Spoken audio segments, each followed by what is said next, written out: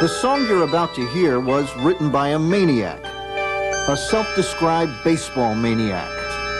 The Whiz Kids had won it, Bobby Thomson had done it, and Yogi read the comics all. It's called Talkin' Baseball, a nostalgic throwback to another time.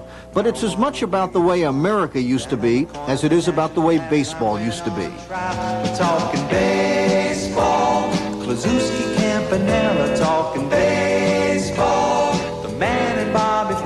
This the song depicts a time, a, a simpler time, a happier time when uh, guys just went out there and played baseball because they loved baseball.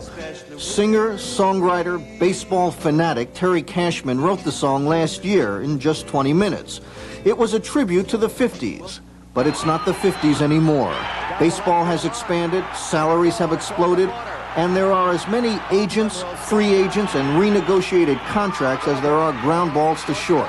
So if baseball has become bigger business, Terry Cashman wants to cash in too.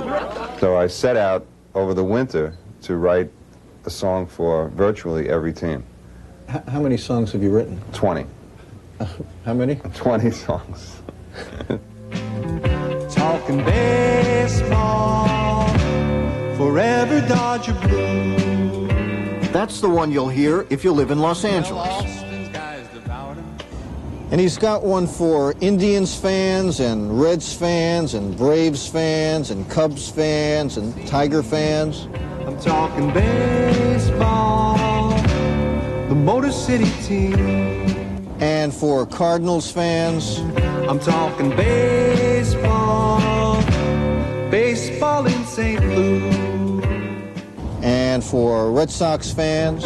I'm talking baseball, baseball and the Sox. I do every one of them just about just about the same. Only the names and the uh, incidents change. and there's one for Phillies fans and for Ranger fans, Orioles fans, Yankee fans.